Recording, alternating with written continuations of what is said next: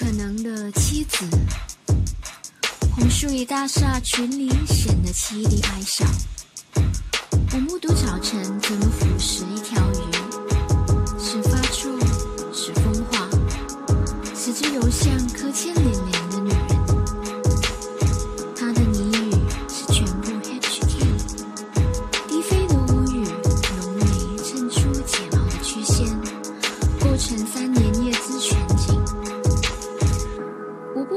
这瘦小的空间无用，陶渊明亦可得此容身之幸。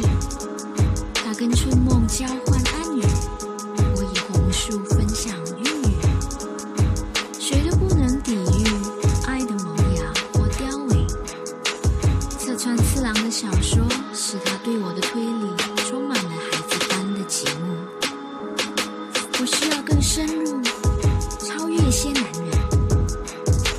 正是这样告诫：要成为一个丈夫，必须以树木深处走一回。冬城更冷了，以眉毛画一个新的自己。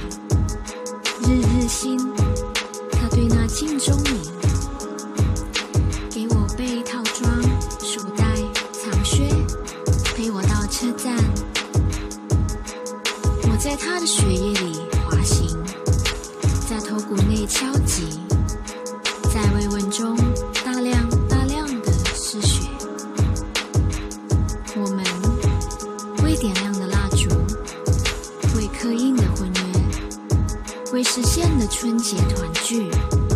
他以徒步旅行月球，并无减损一颗恒星的亮度，一棵红树的高度，更绝对无损我诗歌里他的位置，深处。